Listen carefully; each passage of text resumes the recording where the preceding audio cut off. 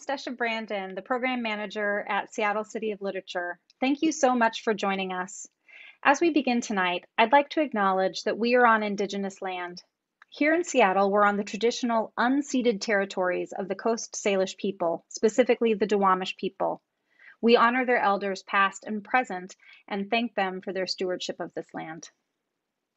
Welcome to this evening's program with Iona Winter and Sasha LaPointe, moderated by Rena Priest, presented by Seattle City of Literature and Dunedin UNESCO City of Literature, and supported by Seattle's Office of Arts and Culture, the Amazon Literary Partnership, and Seattle University. When Seattle was designated a UNESCO City of Literature back in 2017, we joined a global network of creative cities, there are currently 39 cities of literature around the world, and we're delighted to partner tonight with Dunedin, New Zealand to bring you this program. Both Dunedin and Seattle have amazing Indigenous writers, and we're excited to highlight their work. We'll, we'll hear poems from Iona and Sasha, and then they will also appear in conversation moderated with Rena Priest. Iona Winter, Waitaha Kāti Māmoe Kaitahu, lives in Dunedin, New Zealand. Her hybrid work is widely published in literary journals internationally. Iona creates work to be performed, relishing cross modality collaboration, and holds a Master's of Creative Writing. She's authored three collections Gaps in the Light from 2021, Tuho Kaika, and Then the Wind Came. Skilled at giving voice to difficult topics, she often draws on her deep connection to land, place, and whenua.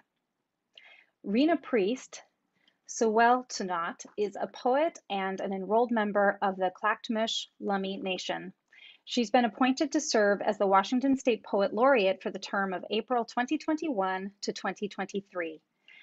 She is a Vadon Foundation Fellow and a recipient of an Allied Arts Foundation Professional Poets Award. Her debut collection, Patriarchy Blues, was published by Moonpath Press and received an American Book Award. She's a National Geographic explorer and a Jack Straw writer, and she holds an MFA from Sarah Lawrence College. But first, we're going to hear from Sasha. Sasha Tokshublu LaPointe is a Coast Salish author from the Nooksack and Upper Skagit Indian tribes.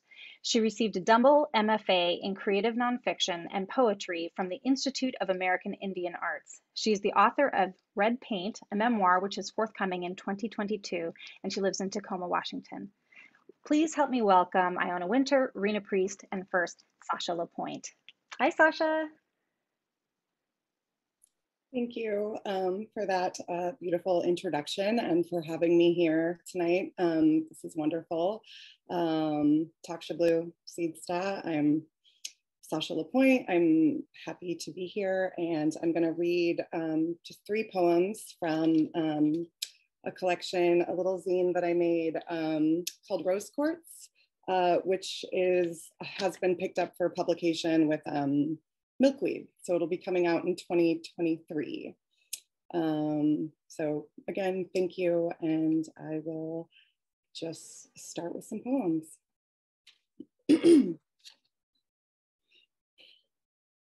the canoe my grandmother gave me. When my grandmother hit record, the record button on the cassette pl player, it startled my great aunt. What is it? What does it do? It's going to capture the language, my grandmother said, to keep it. My great aunt thought about this for a long while. When she was a child, my great aunt traveled by river, by inland waters to relatives, to bring them fish, to carry the news. She looked down at the cassette recorder and nodded. Ah, she said, this is just a different kind of canoe. The last time we would eat together, we sat by a picture window overlooking the channel. She pushed fried oysters around her plate, Chardonnay pooling on white linen. At six, I licked frosting, bone white from China. My mother, embarrassed, reached for the plate. My grandmother slapped her hand away. Just let her enjoy it. And we rotated high above the city, the space needle spinning clouds into sugar. Now she looks over oysters, out past the docks. Remember when all of this was underwater? She points a greasy fork to the hill beyond the bridge. They kept the dead up there before they came and built a church. I see canoes high above a white chap chapel in branches of trees no longer there. Speeding along asphalt, along LaConner Whitney Road, the back seat sticky with whiskey, the smell of cow shit, of cut grass, I look out at the snaking body of water contained, curling and flexing to keep up. It was all underwater, she'd say, until they came and built dikes and farmhouses, planted fields just for tulips, stretching lakes of daffodils. With my head against glass, bottle of whiskey in my lap, I squint until the channel breaks free, until the roads are water again. When I woke to find him there, breathing heavy, blonde, 210 pounds of quarterback of animated Coors Light above me, I learned to sever head from heart, dunked my head beneath water that was no longer there, to drown again and again, to breathe in river silt and mud, count silver scales of fish and all the white pebbles rushing past. We learned to say, I just let it happen. We learned to use words in forgotten languages. I learned to hold my breath beneath the currents, unaware of the boat on the riverbank waiting there.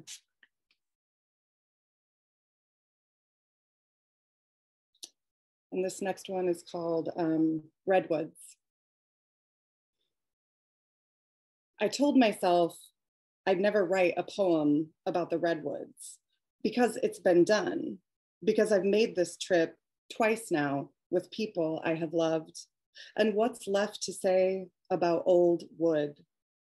I told you I'd be okay as I left you curbside in San Francisco, drove away to a sad 90s playlist, not crying along to the music, but in my best riot girl kind of way.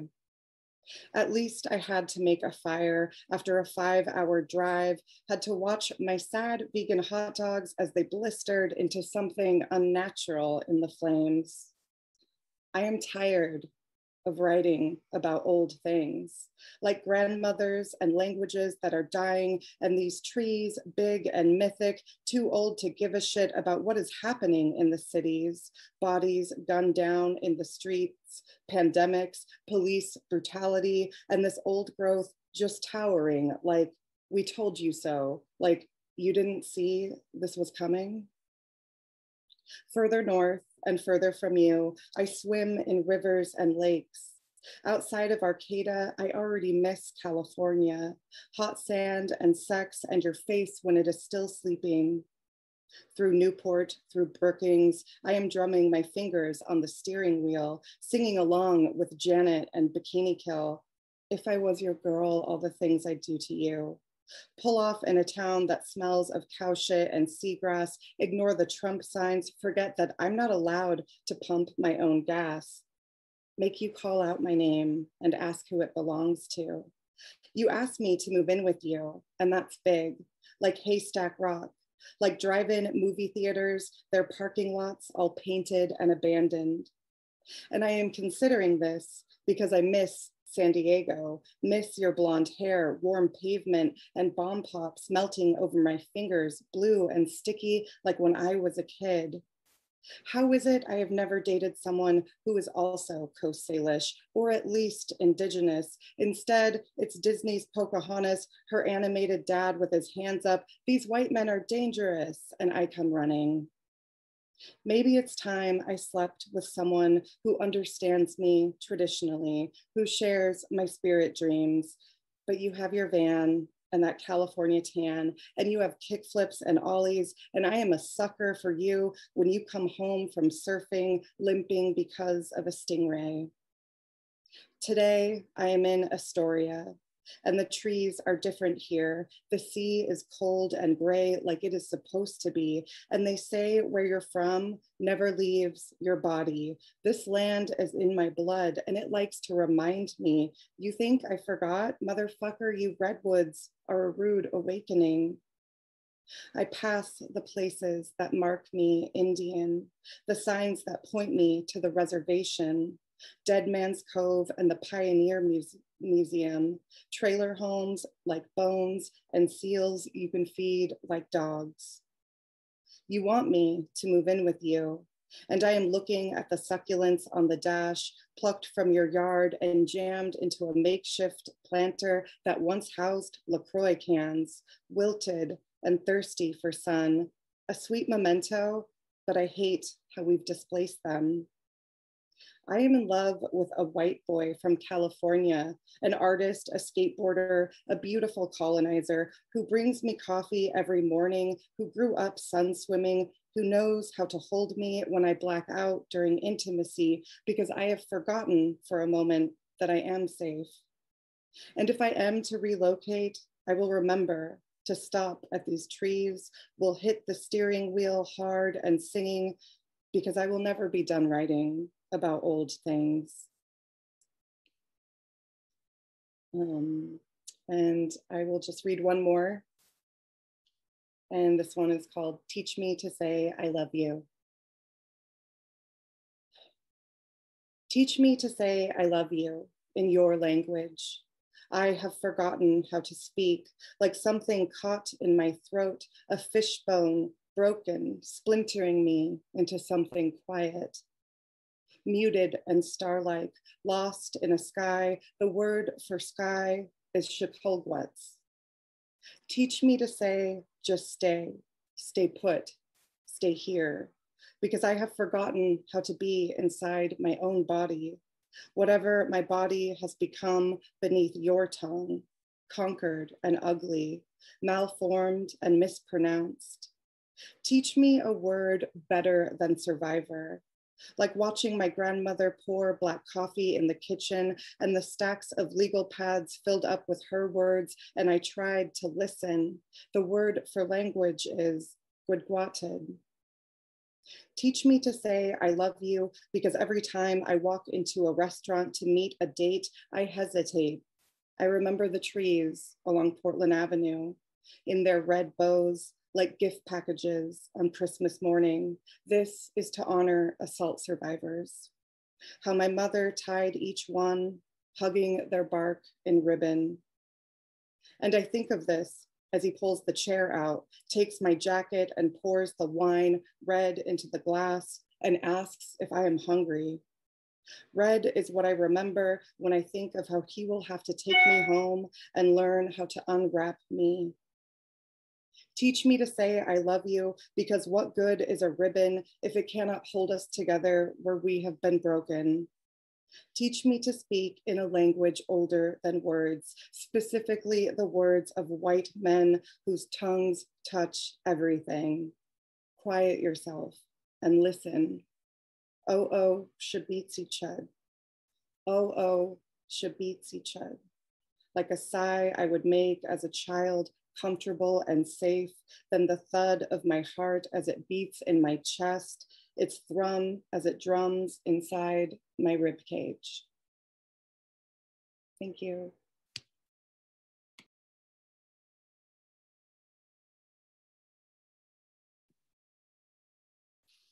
Thank you. That was amazing. Beautiful. I can't wait to talk to you about these poems. And next we have um, Iona Winter, who's gonna do a reading for us. Iona? I'm excited to hear your work today. Kia ora.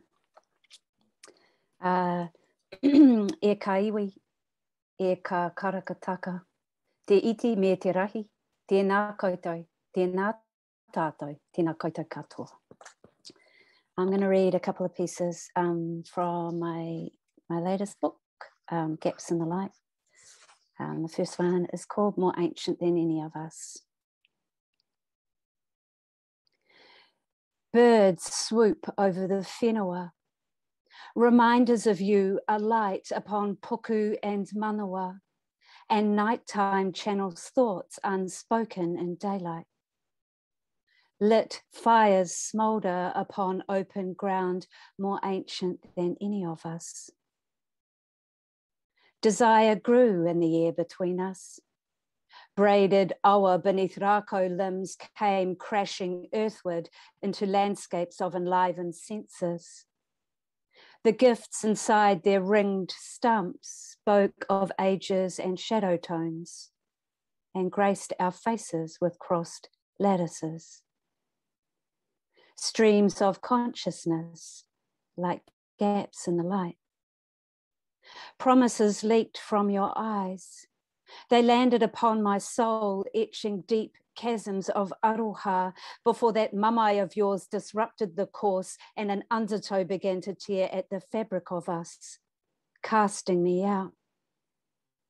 My ringa ringa spread wide to expose secrets, and you owned none of the lies that spilled over to lap at my feet, where pūrerehua wings stroked my winnowed heart, beating fast to the rhythm of our mother streams of consciousness like gaps in the light. Birdsong emerged between Pō and Ra to illuminate all the unnoticed seasons. But who can say whether we shifted and morphed with it or remained stagnant puzzles of links scattered from root to tip, our enacted patterns alive?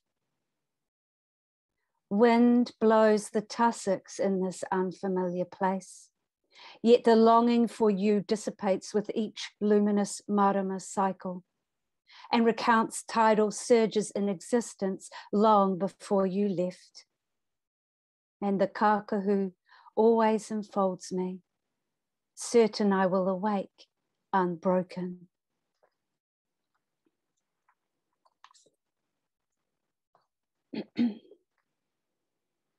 This next one is called Maniatoto. Plain of blood and Scottish settlers, where winds rip through fields of foreign black faced sheep and mechanical arms stretch across acres. But their water comes from somewhere deep inside our mother, already keening and fierce in her rock falls and floods I feel my bare feet on her dusty earth amongst tussock, reunited with Tupuna. But I don't hear the old songs, sense only their footfalls over paths between Mauka and Moana. Unadorned feet like mine know how to leave behind one season for another. They would not recognize you, Maniatoto the whenua infinitely disturbed, like the place in me that is deeper than sorrow. Nō reira tēnā koutou katoa. Thank you.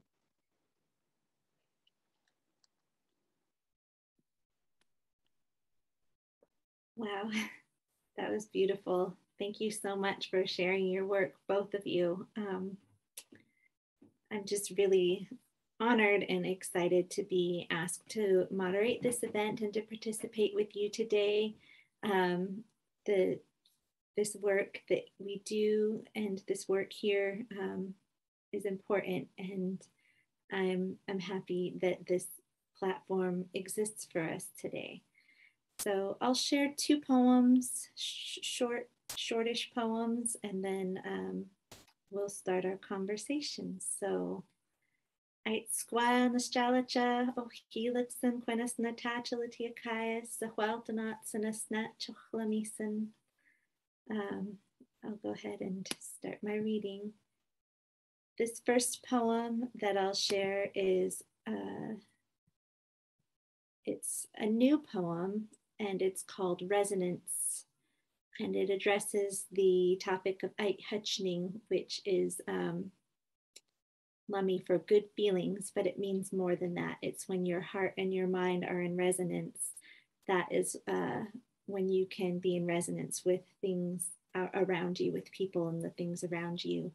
And so that feels good. So it has an epigraph. All things were together, the mind came and arranged them. Anaxagoras.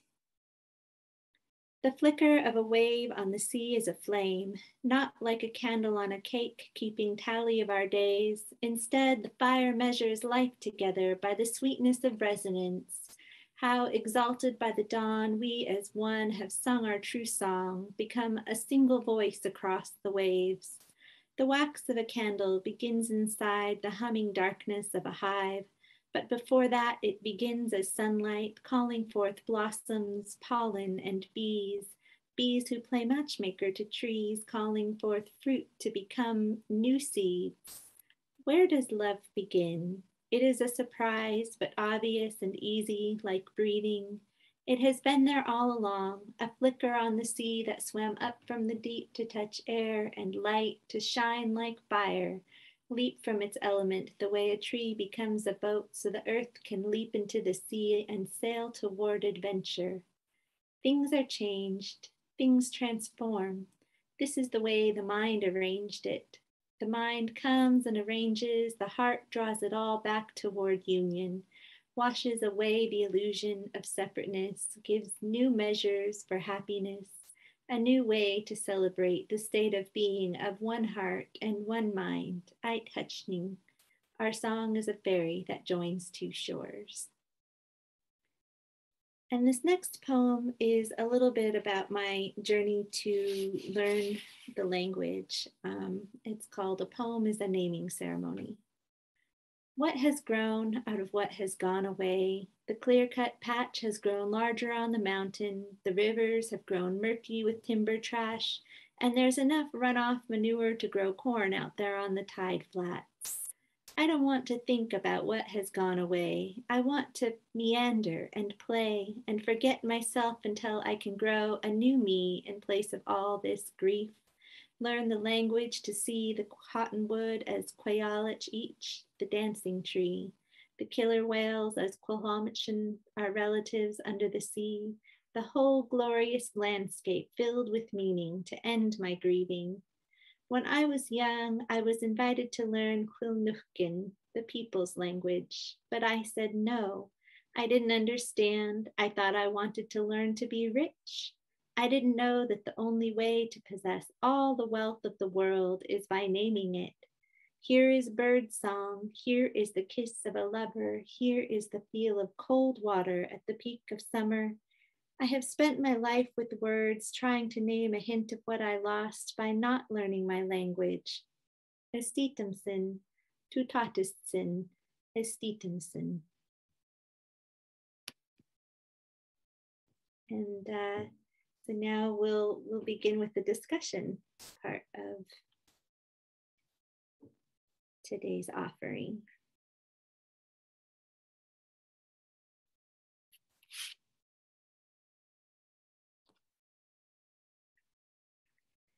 So first, I think that um, I'd just like to ask about um, your most recent project uh, you have Gaps in Light, Iona and Sasha, your um, your forthcoming book from Milkweed that you read from. It's called Rose Quartz. Yeah, yeah. So um, talk a little bit about what the process was um, of writing those and um, kind of what your hopes are for for those as they come out into the world. Um, do you, do you want me to start? Sure. Whoever, just dive right in. um, yeah, um, rose quartz and and as well as the memoir red paint. Um, I think were my. I mean, my process around writing has been um, I mean, honestly, also, I just need to say, wow, what beautiful work from both of you. I'm still just kind of reeling. Like, how can I like snap back into it? That was so gorgeous. Thank you both for your beautiful, beautiful words. Um, definitely got emotional in there hearing the language and so beautiful. Thank you. Um, so, uh, for me, like uh, my writing process, um, when I was still in my MFA program, uh, I, I, I had started this project of uh, writing a memoir about um, what it was like to grow up um, on the reservation, what it was like to survive. Um, uh, you know, sexual assault and like like it was a really hard book project that I took on. And I finished it and I did it and ended up scrapping the whole manuscript. But throughout that process, I, I really unearthed a lot of hard things for myself. Um, PTSD, um, the like throughout that writing process, I, I, sort of became unraveled in this way that was um, incredibly intense. And when I came to poetry, when I came to Rose Quartz, I sort of, um, and also with red paint, but I, I, sort of went back to, I think it took getting to a place of just being undone by like unearthing these hard memories, like um, generational trauma, memories of like um, lived abuse, and, and also like uh, the historical memory of abuse that I think lives in us as Native people.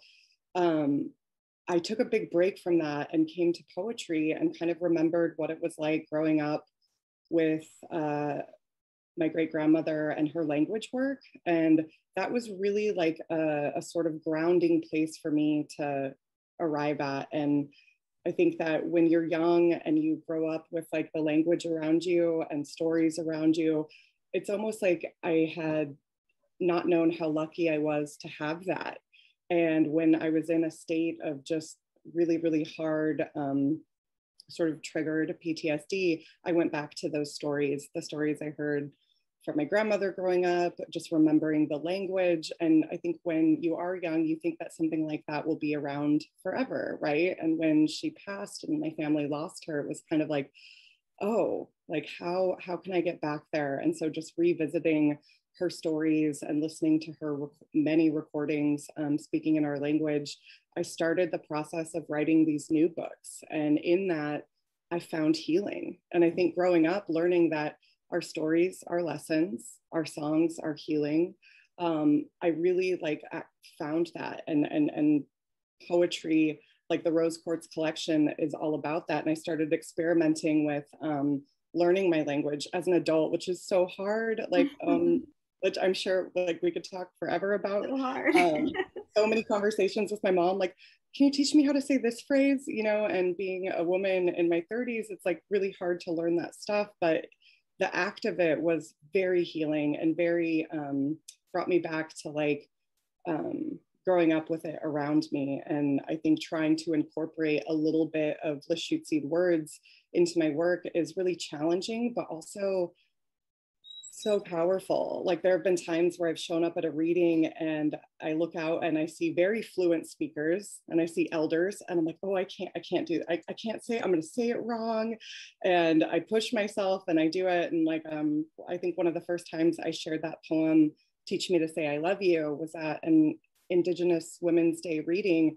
And I looked out and I saw these elders and I was like, oh, I should change the poem. I'm not going to read this. And I just powered through and did it. And afterwards, um, one of the elders came up to me and thanked me for speaking beautifully. And like that, that reminded me of like the work that I think my grandmother would have wanted me to do as her namesake. And um, I think that both with Rose Quartz and the memoir, I'm trying to like do that. And it's my hope that when they come out into the world, that that is um, a parent and that it's like as a grown up trying to learn her traditional language like um, just the power that that that holds. Um, i, I kind of rambled i'm sorry but that that's what my process around writing oh that was perfect. That was that was so uh, thank you so much for all of that. That was beautiful. Yeah. And um, also for how you um, well i'll i'll let's hear from Iona and then we'll carry on the conversation. I feel like I want to um, riff off what you said, really, Sasha, um, around that kind of, I don't know. I, I, I've been sitting with the, the, the notion of um, just being displaced and um,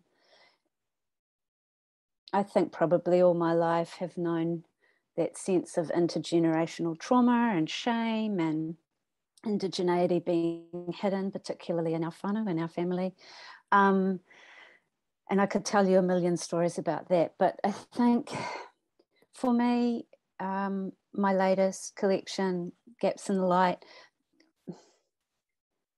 I'd been working on a bigger, uh, like a hybrid. Um, do you know flash fiction over the I don't know if you do, but it's really short form fiction. So I've been working on a hybrid um, novella and flash fiction, and it just wasn't coming together. And I was like, oh, I've had a whole lot of other stuff published. Why don't I do a collection? And then a whole lot of new stuff came. Um, and it all just, it's quite bittersweet to talk about it, but um, I, I, finished it all. It was quite a drive in me, and I've always been someone who listens to my tupuna, my my my ancestors, and feel like they're quite close with me all the time. Um, the morning I finished the the manuscript, um, I learned that afternoon that my son had taken his life, um, and so getting that book out in the world was quite a big process because he um, was a really prolific musician here in Aotearoa, New Zealand, and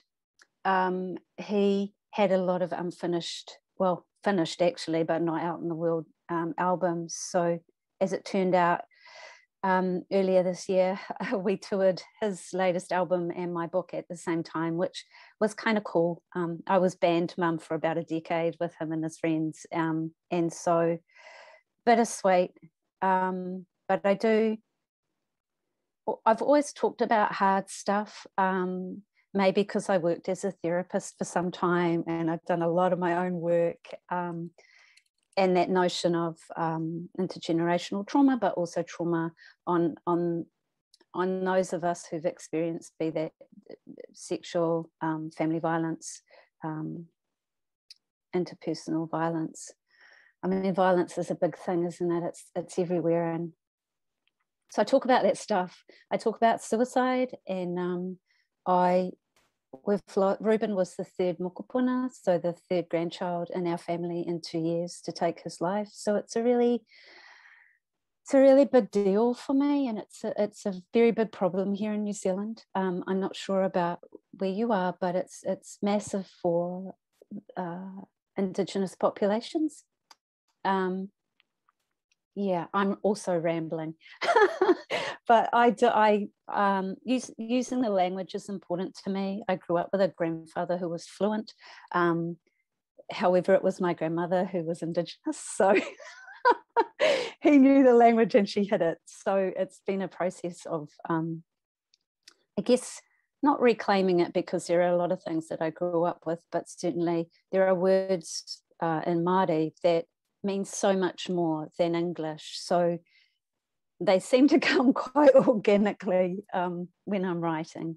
And I've never been attached to um, labels really. So what I write is what I write. It might be a story, it might be a flash fiction, it might be a poem, it might be an essay. Um, yeah, quite intuitive, I think, my process. And I put that down to my connection with the land, my connection with my ancestors, um, and and all it is. Yeah, so putting it together, I, I like this line in your work. Actually, there's two, there's a line from each of your poems that caught my ear. Iona, you say streams of consciousness like gaps in the light. And I just love how that makes me think about how, you know, in the absence of thinking, we're light, right? Like, is that am i interpreting it correctly? Like there's we're just light and then we think and then and it's a it's it's a it's a gap in the light right? Um, so i love that. And then sasha you in your in the first poem that you read the canoe my grandmother gave me you say uh, it, you talk about how the moment of the trauma it was all underwater sever head from heart. And the that that his the historical trauma and the personal traumas that we survive that's what it does. It just severs that connection you know like i don't have to feel this and the you know maybe not even think about it. And and how contrary that is to that concept that in i don't know if it's in um the shoot seed or in in your tribal language iona but the concept of Aitchutchning. I know that the Canadian tribes call it like Aitchwalawin, um, the connection between head and heart being good feelings or like in resonance with with everything around you um, and then just kind of like how the language that we have that in the language and there's all these other things in the language that do that they connect the head to the heart to everything else around us right? And so that's like where the value is. And um, to be able to connect that in poetry and in writing is just so beautiful too. Um, i've enjoyed hearing how that has been you know how that shows up in your work. Um, do you uh, when when you are writing um, do you feel like there's the thing that you that you want to write but then do you ever feel like there's the thing you, you mentioned the ancestors that are behind you and then also um, your line sasha um, I'm tired of writing about old things. and then and then you finish the poem and you say I'm in oh you say because I will never be done writing about old things.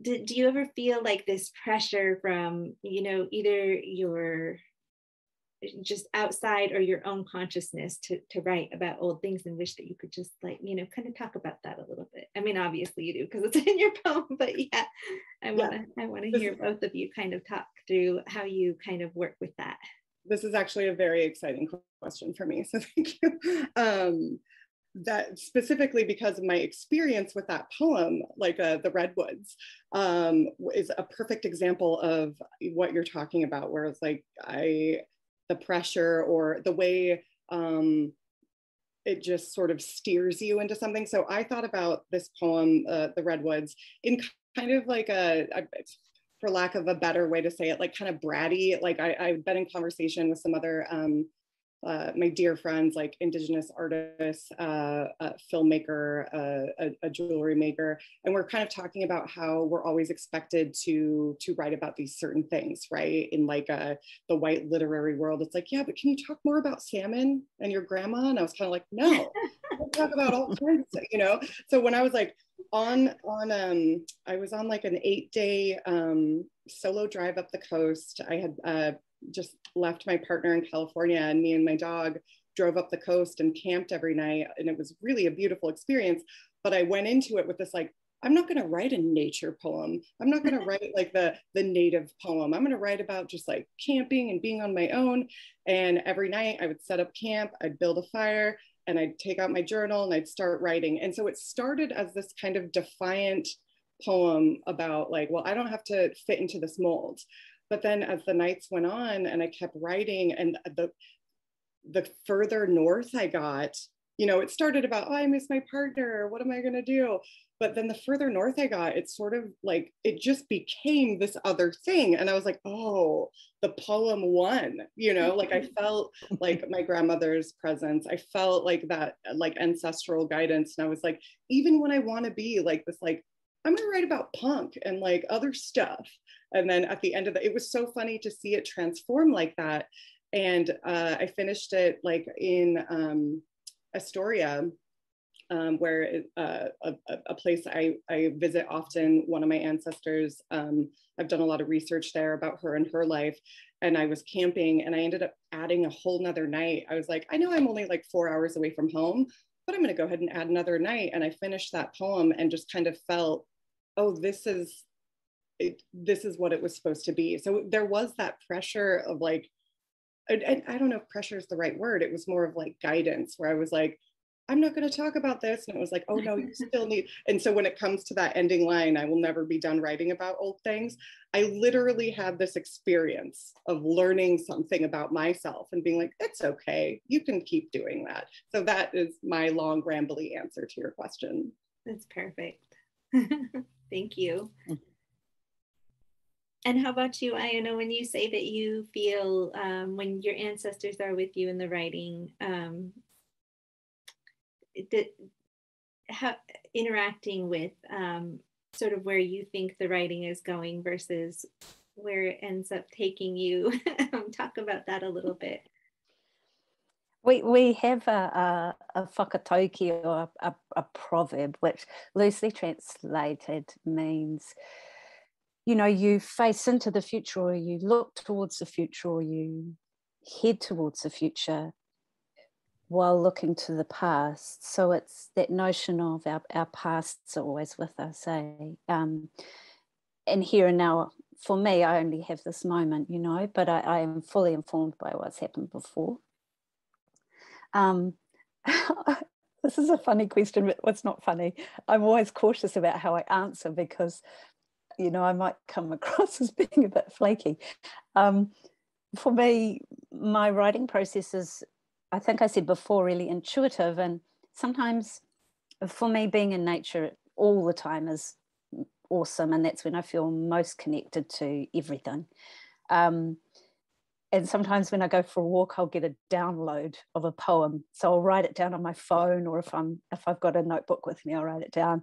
Um, and sometimes they come fully formed, and I don't think that's necessarily my voice, if that makes sense. I think that's all of those people before me saying, "Hey, we've got this stuff that we need you to say."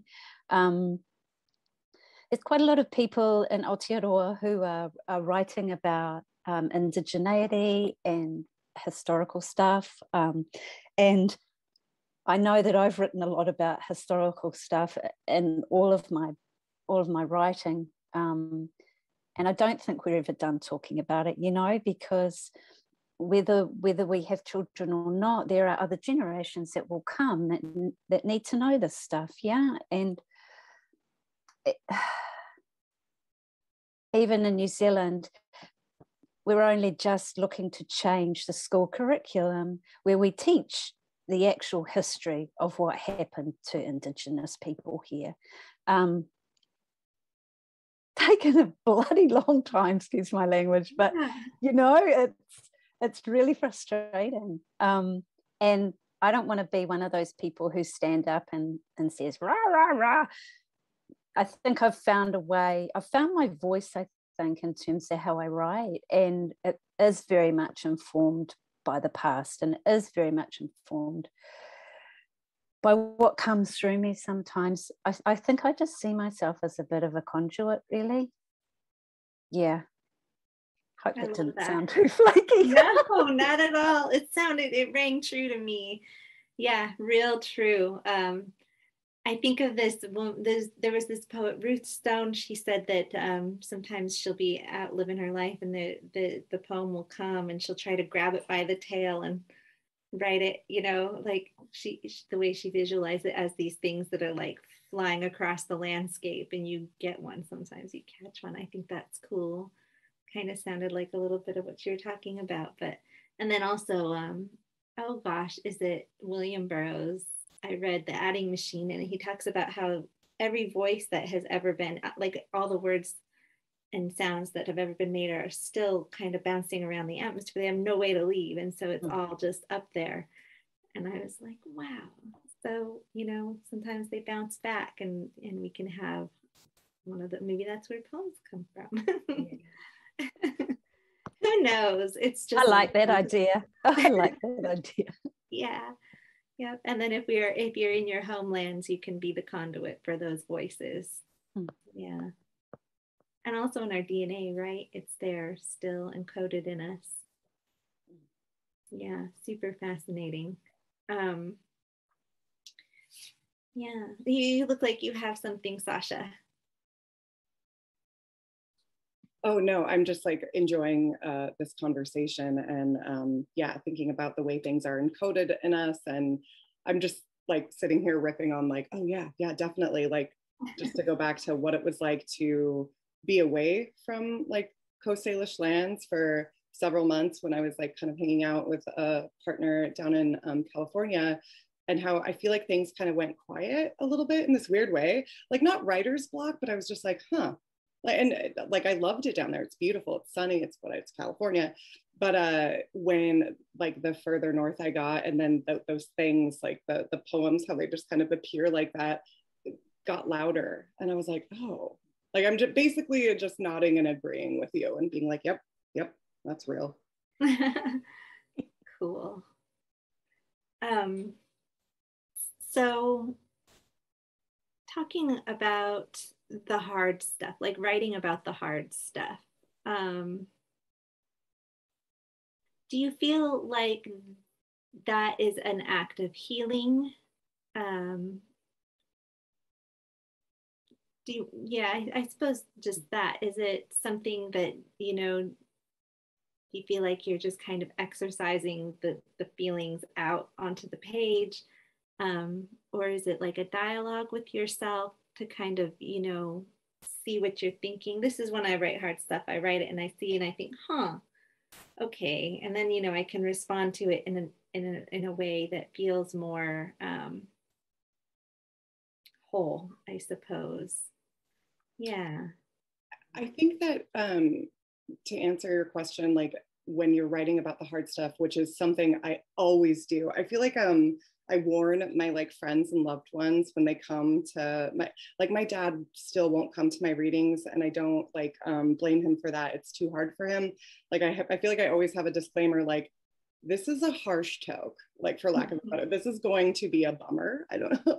Um, so I'm often um, sort of deep diving into these hard, hard topics, hard memories.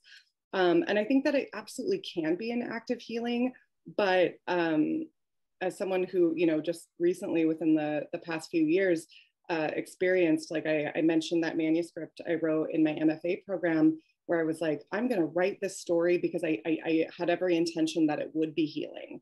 But in the act of doing it, it wasn't. So I think that it can be when like I, I just had to stop and listen and be like listen to you know my like that that ancestral knowledge and like um the first go through like my first uh, draft of that memoir um, really really unearthed some things and I, I wasn't prepared for that so whether it whether you're writing poetry or memoir or hybrid i love hybrid and lyric essay and flash fiction. I love that you even brought that up. I'm like, I love tiny stories.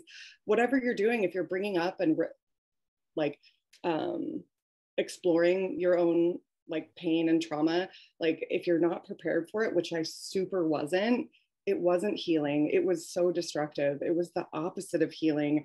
And I was young and still in my grad program and didn't realize what I had just done to myself, excavating some of those memories. And I was like, that that that was a, a, a train wreck, right? Mm-hmm. Um, but you know, a, a, year later, when I started on the poems in rose quartz and I started on red paint, that's when the healing happened. So I think that it can be, and it is like so so healing. But I guess with the right, I don't know, I don't I don't know how to say. I know that. what you're saying. Yeah, I totally get. It. I I had a residency once where I was going to write a memoir, and I I would start and then it, it, was like this is what am i doing and then i started like really kind of hating the whole process of writing altogether you know because when you're at a residency and you're like alone with your words and your thoughts in this project and it's so daunting and then so i'd be like whatever i'm going to write these poems. And my whole second collection kind of came out of like avoiding writing about the hard stuff because you can like really wound yourself. And i feel like the expectation that you know the, the, feeling like well you know we have these obligations to tell our stories and things like that. It's like well you know yeah okay but in our own time right? Like in my own mm-hmm. time. And let's just not do you do that to mm-hmm. writers um, about what they should be writing. Like i read your interview about the um, the mentioning the woman who wanted more details about you know mm-hmm. a, a particularly traumatic event. And you're just like can we just let that live? In like the in the shadows like you know yeah. And then it's powerful too. I read something recently um I've, I've been thinking about trying to write horror and the guy's essay um, benjamin percy he says that a lot of the good the, the masters of horror will let the really awful thing like happen off camera so that it lives in the imagination of the uh, the reader um, because then that it can be just like way more you know what it is i guess. Um, flannery o'connor he uses her as an example for like all of the terrible violence happens sort of off camera but you know it's happening um, so yeah craft, craft wise that can be a thing too right? Not saying it. Yeah and i think that's such an important thing to um like i i felt really um not prepared for that kind of feedback and i had it through different professors um folks who were like different editors people who were reading the work and i wasn't prepared for them to be like uh you go into this weird dreamlike state in this moment of a hard memory of a very traumatic event. Why are you talking about whales now? And i was like why wouldn't i be talking about whales? What, and they were like can you can you um, spell it out more concretely? We need to see it. And i was just like what is wrong with you? Like no. And like I, now I, I feel a bit more like you know i have wiser now but it, I, I and i tried like i took editors and um, professors advice and was like okay i'm gonna write it out and spell it out. And that felt so um, wrong for the writing process when you're dealing with such delicate stuff. And i think that um that that line that you brought up earlier in my poetry like about um dunking my head beneath water um like severing head from heart is also like me sort of addressing disassociation and what can happen to us in our in our most like fight or flight survival modes.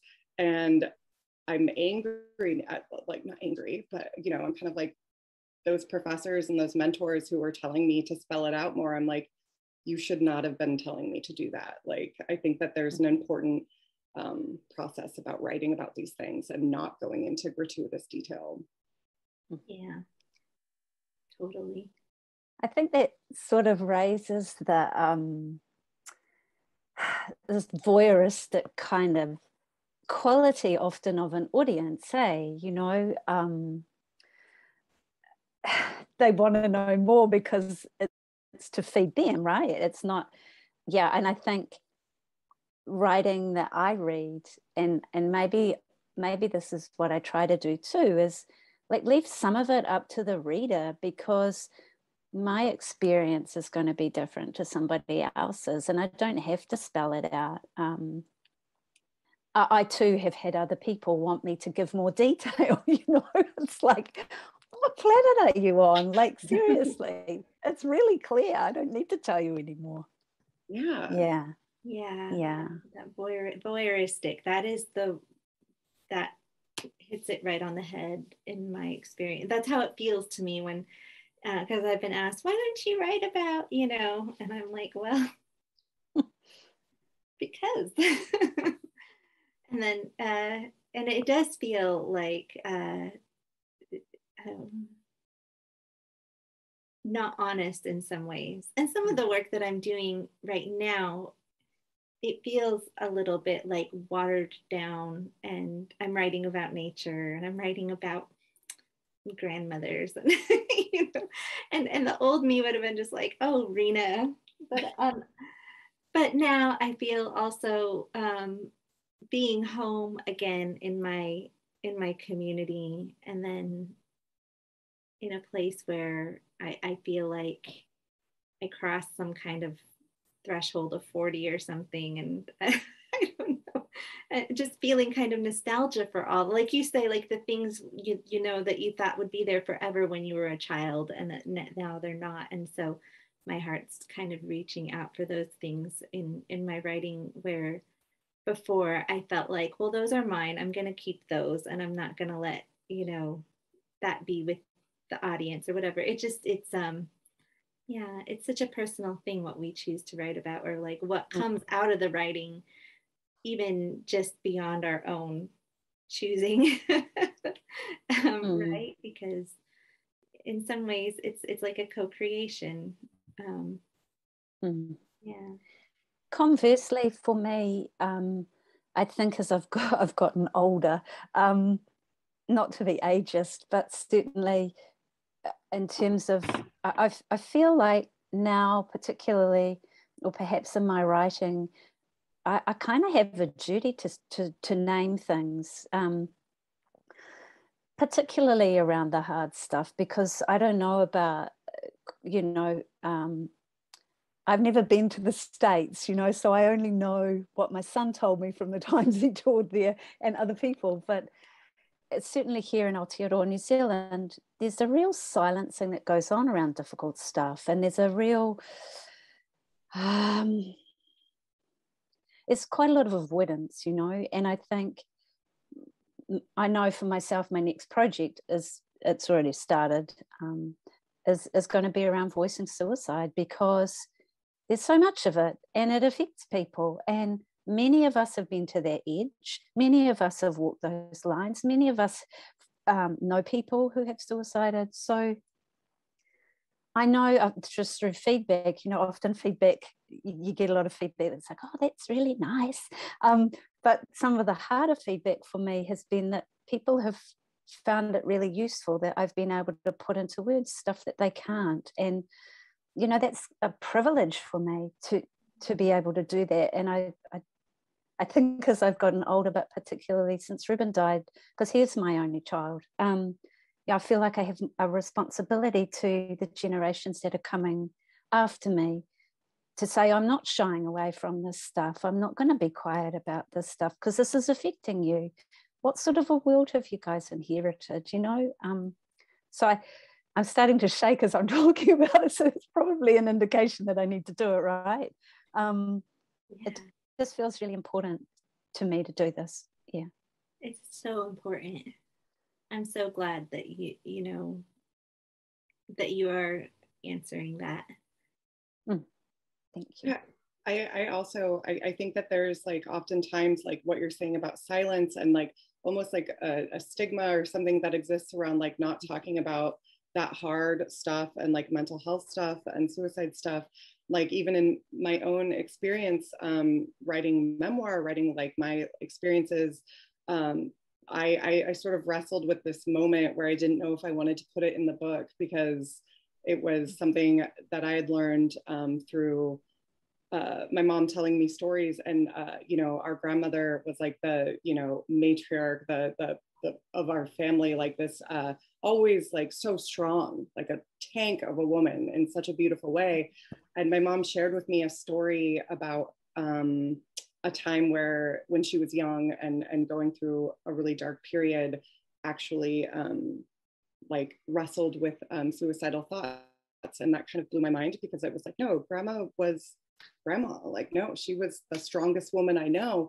But i think that for me having to unpack that process of like the strongest woman you know can still wrestle with that and that's okay and why wouldn't i share that and be honest with it but it, it just speaks to that mm-hmm. silence you're talking about that that like uh, initial like oh i shouldn't say that in the book because i shouldn't like let that be known but then it was like no this stories like that do need to be shared and i i just feel like it's so important mm-hmm.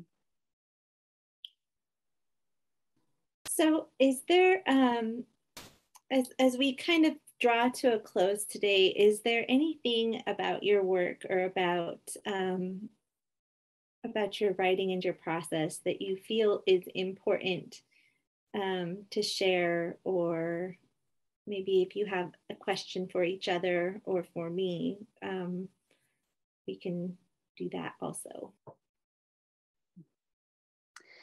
I might start this round. Um, first off, I just want to thank you all for for being here and being available and being willing and for the openness and the honesty. Like I just really appreciate it and listening to your your kupu, your words, you know, how that resonance, how that shared experience as as wahine or woman who identify or people who identify as female, um, just you know how words just um, they they cover time and space, yeah, and it is all around us. And I just love it when I get together with other people and we're like, yeah, you know, we're all vibing in the same way. It's beautiful. So I just want to say big kia and thank you so much. Um, and I think for me is just to sort of wind up my I'm really aware that there's a lot of people who can't access a written word. And so it's become more important for me to find other ways to get my my my words out in the world. So I've I'm more and more interested about doing uh, multimedia stuff and I have someone who's taken the words that I spray painted on a fence. They've taken that and they're splicing it up and they're doing some kind of choir thing where sound is responding to the words. I just think that's amazing. That's and awesome. how many more people, you know, how many more people can access that? And I had a poem made into a dance recently for National Flash Fiction Day. It was so amazing to just see how other people were responding to the work. So I think that's something I'm really passionate about too. You know, I, I try and do podcasts as often as I can so that people who can't read the written word so well are able to listen. Um, yeah, so that's probably enough from me. I love that. I love that. And um, I hope that you'll come to the United States and visit us sometime. I would love to have us do a reading here in the Seattle City of Literature together. That would be amazing. oh, yeah, be beautiful. yeah. I absolutely agree with that. Like just being in um, this virtual space with you all today has been so beautiful and amazing. And like, uh, I, yeah, I feel like I'm gonna ramble and I'm gonna try not to. But um, yeah, just being in a room with folks who I feel like almost kindred spirit with, like talking about hard things, talking about where poems or these things come from. Um, sometimes it can feel kind of alienating when you're with folks that don't understand the process or like tackle the hard things. And so this is always so like just it feels like nourishment for me. So I would I second that. I hope that we can all be somewhere in real life in real space together um, i would feel so honored to like read aside like alongside you guys. Like this has been beautiful and i feel so so endlessly grateful. Yeah i echo both of what you've said uh, or all of what both of you have said um, yeah it's it's always just really nice to um, be in conversation with people whose work you resonate with and um, you know, who who have similar life experiences and um, yeah, and have written about them bravely and with uh, courage and a and a beautiful, fierce, amazing voice. So thank you both so much for your work and for uh, sharing your words today. And it's just been amazing. It's been wonderful. Mm. Haishkasiya Ministracha. Kakite. Thank you all so much. This has been such an amazing conversation, and it's such a pleasure to to hear all of your beautiful words and and get to um, be a fly on the wall while you all chat. So thank you, thank you so much for that. And so if folks watching are interested in finding out more about Sasha, Iona, or Rena's work, uh, we're going to put links uh, to their books and their websites in the show description below. So you'll be able to find out more and, and click to buy copies. We want to thank our partners at Dunedin UNESCO City of Literature, and of course, we're grateful to the Seattle Office of Arts and Culture, the Amazon Literary Partnership, and Seattle University for their support of tonight's program. And of course, thanks to all of you for watching, and uh, we'll see you next time. Have a good night. Thank you, Stasha.